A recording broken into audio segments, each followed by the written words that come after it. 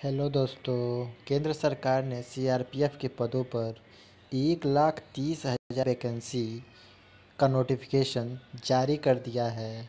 आप लोग official notification पर जाकर देख सकते हैं। जैसा कि आप लोग देख रहे हैं सीआरपीएफ कांस्टेबल एक लाख उनतीस हज़ार नौ सौ उनतीस पोस्ट निकाली गई है। मैं आप लोगों को इसको ऑफिशियल नोटिफिकेशन दिखा देना चाहता हूँ। देखिए, ये आज अभी इस साइट पर डाला गया है। एप्लीकेशन अभी स्टार्ट नहीं अपकमिंग मंथ एक्सपेक्टेड दिया है। अभी eligibility tenth pass age age पर पोस्ट के लिए दिया गया। देखिए, यहाँ पर लिखा गया है M H S C R P F notification दो हज़ार तेईस, केंद्रीय रिज़र्व पुलिस बल में कांस्टेबल जीडी के एक लाख तीस हज़ार पदों पर भर्ती होगी। इस भर्ती में दस फ़ीसदी पद पूर्व अग्निवीरों के लिए आरक्षित रहेंगे।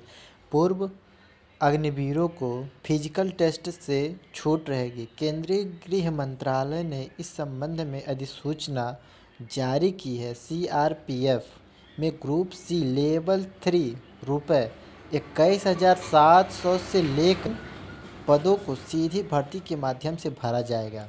मंत्रालय के नोटिफिकेशन के मुताबिक कुल रिक्त एक लाख उनतीस हज़ार नौ सौ उनतीस पदों में एक लाख पच्चीस हज़ार दो सौ बासठ वैकेंसी पुरुष के लिए, जबकि चार हज़ार चार सौ, सड़सठ महिलाओं के लिए होंगे।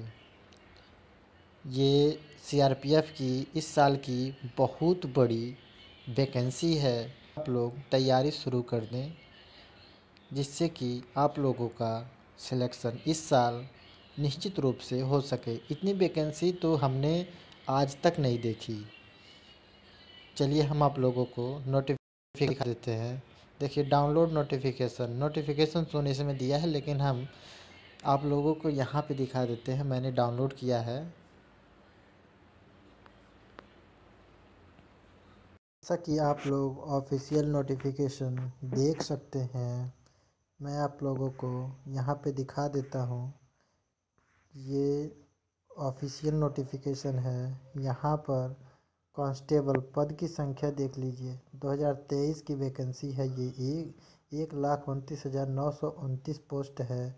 और जिसमें से पुरुष की है, एक लाख पच्चीस हज़ार दो सौ बासठ। और महिला महिला की छियालीस सौ सड़सठ। समूह ग, यानी कि ग्रुप सी, वेतन आप लोग देख सकते हैं।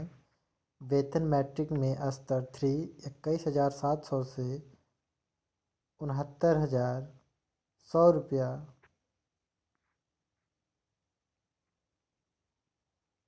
देखिए, इसमें आयु सीमा अठारह से के बीच मांगी गई है।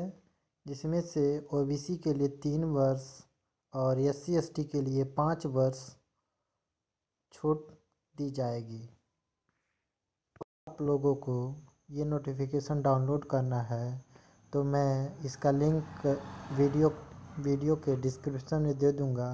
और अगर आप लोग यहाँ से नहीं डाउनलोड कर पाते हैं तो सरकारी जॉब पर जाकर डाउनलोड कर सकते हैं।